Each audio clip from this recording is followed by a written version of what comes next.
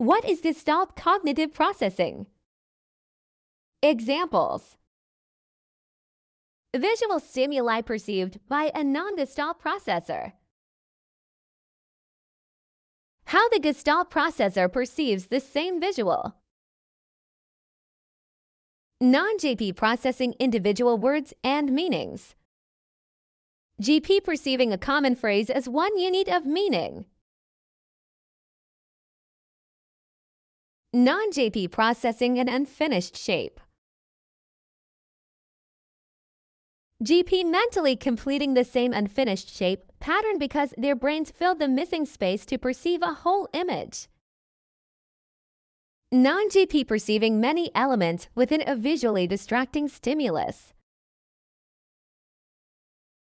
GP perceiving and processing only a preferred pattern within the same visually distracting stimulus. Gestalt processor enjoying a play pattern. Gestalt processor desiring the same play pattern every time. What is Gestalt cognitive processing?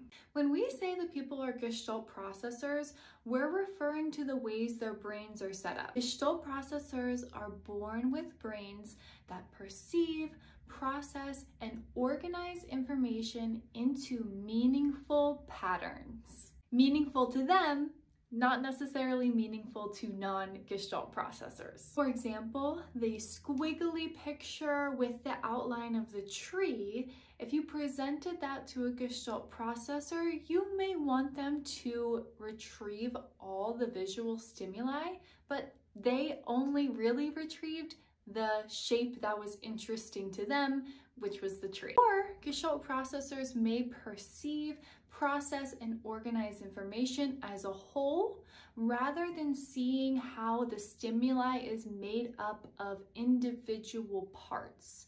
For example, the line image in this video, we know that it was made up of small little circles, but a Gestalt processor may perceive that as just one solid line, seeing the whole rather than seeing the parts. So why is it important to know about Gestalt processors? Well, not all Gestalt processors are autistic, but 85% of autistic people are Gestalt processors. So it's very important to know how to support these learners, not only through their language acquisition journey, but their learning journey in general. Here are some ways to support their learning. Highlight patterns, emphasize patterns no matter what you're teaching. Try to show how individual things are used to make up a whole. For example, puzzles. Use as many visual aids as possible. This is one reason why I love speech generating devices so much because of course we can program phrases into the speech generating device and we absolutely will,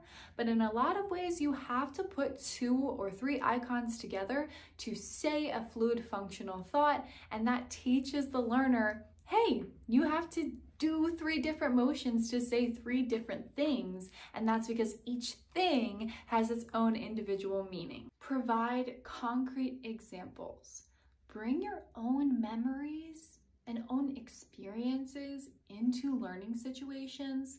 A trademark characteristic of Gestalt processors is that they have amazing episodic memories and so they will most likely be able to think of a memory themselves that relates to whatever concept you're trying to teach and that is a way that they communicate what they know. Encourage active participation and have the Gestalt processor be a part of the learning lesson by organizing or arranging whatever stimuli you're working with.